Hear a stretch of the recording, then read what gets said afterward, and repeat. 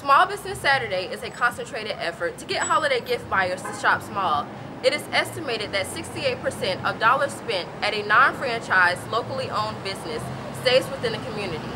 Today we got the chance to speak with Chan and Gennie Holman, owners of Woody's Pawn Shop. Here's what they had to say about Small Business Saturday.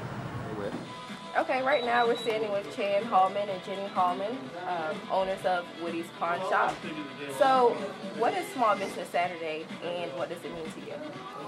Small Business Saturday is uh, what we consider our Black Friday, which is the biggest time of the year for us as far as shopping goes. We bring in a lot of extra uh, employees. We have super sales on our firearms and ammunition and other miscellaneous items throughout the store. Why should people participate in Small Business Saturday? Well, I think it gives uh, the people in Orangeburg an opportunity to shop local rather than going out of town to spend their money like they normally do.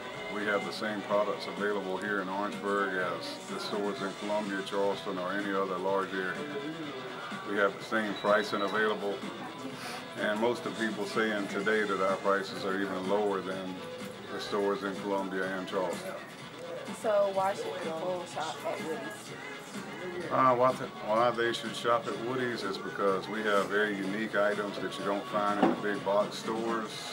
We concentrate on specialty items that you just don't find in any other store.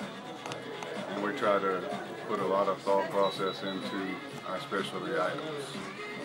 We get very aggressive with our pricing on Black Friday and tomorrow, Super Saturday, and it's really made a difference over the last two to three years that we have become more of a retail store rather than a pawn shop.